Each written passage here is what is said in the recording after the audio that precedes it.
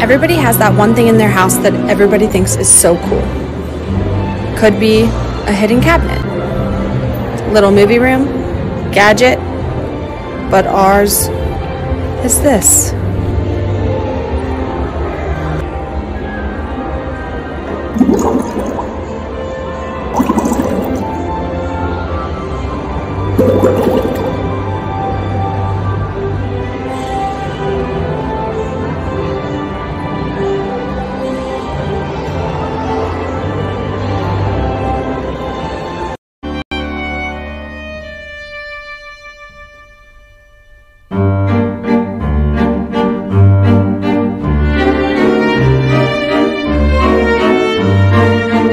No more.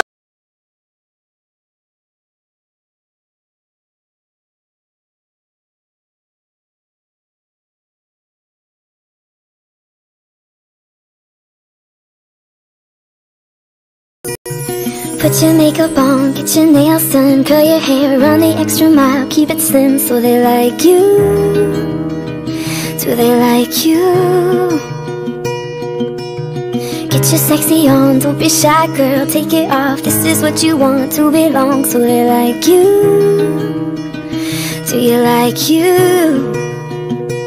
You don't have to try so hard. You don't have to give it all away.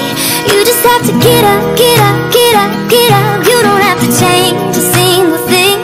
You don't have to try, try, try, try. You don't have to try, try, try, try. Try, try, try. You don't have to try. You don't have to try.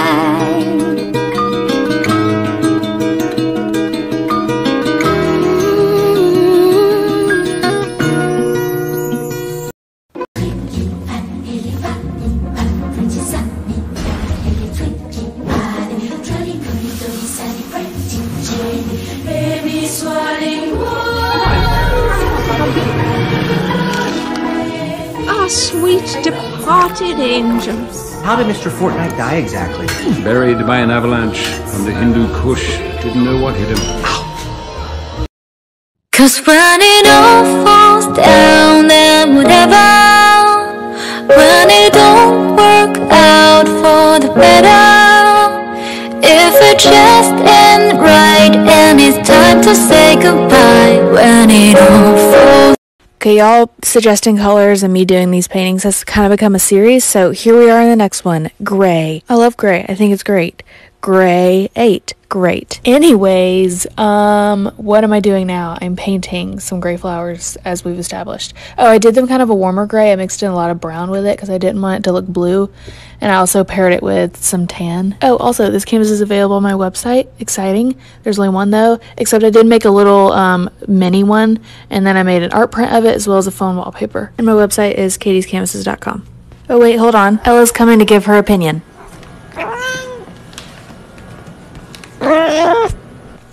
Thank you, Ella. Like last time, I think she gave some insightful comments. I think it was really important to hear and for her to say. So let's keep moving on. What am I doing now? I oh, I'm I'm outlining. Exciting. Um, love that. Now we're done. So there it is.